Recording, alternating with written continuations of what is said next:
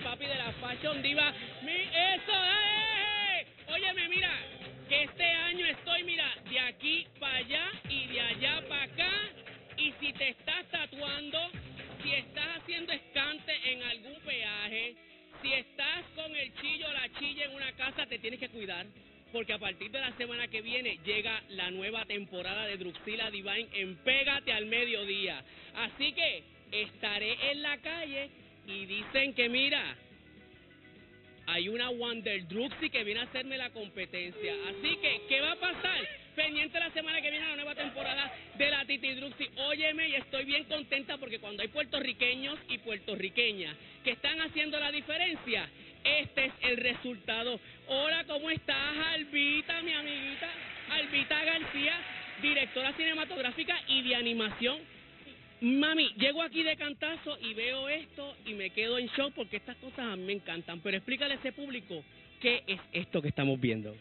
Yo preparo animaciones que cada fotografía que yo toque, 24 fotos, hacen un segundo de animación. La película que acabo de terminar tiene 11.000 fotos de animación y eso hace la película completa y yo tengo que mover el personaje una vez, sacar una foto, otra vez, sacar otra foto, lo mismo con los ojos, con los ojos, boca, cuerpo, La, para que la que la somos fanáticas de Star Wars, vimos más o menos eso para la época de Retorno de Jedi y para la época de Star Wars.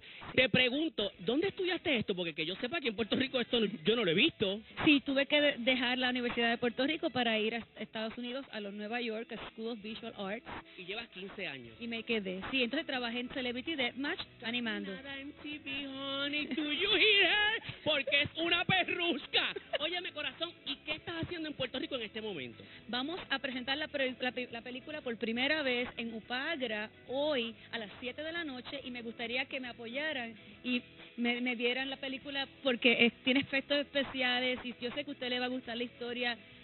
Es una historia bien... No me gusta comparar a nadie con nadie, pero sabes que de momento cuando veo esto, lo que me da es un look a Tim Burton. Y estamos hablando de un director y productor de siete pares. ¿Vas en esa, vas en esa línea? Eh, hay personas pendientes que trabajan con él mirando mi trabajo ahora. ¿Tú escuchaste eso? Hay gente que ha trabajado con Tim Burton que están pendientes a mi amiga Elba. No, pero los que hicieron la, lo que van a hacer la, la armadura que tienen los Oh, personajes han trabajado con Tim Burton ya. que tú me dices a Y mí, ellos- espérate un momento, ellos están- merece un abrazo. Óyeme, orgullo de Puerto Rico.